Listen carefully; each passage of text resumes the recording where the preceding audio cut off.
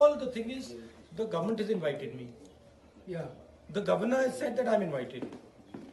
मुझे इनवाइट किया है तो अब मैं आया हूँ फिर आप कह रहे कि नहीं आ सकते हैं तो that is a bit and government the government is saying that uh, everything is okay here everything is normal so if everything is normal then why are we not allowed out it's a bit surprising Ah. I mean, we're not, we're not going, we, we want to go to the, any area which is peaceful, talk to 5, 10, 15 people, that's all. We don't want to do anything more. And if it's 144, then I'm ready to go individually. I don't even, you know. Yeah, yeah, everybody will We'll go go individually. We don't even have to go as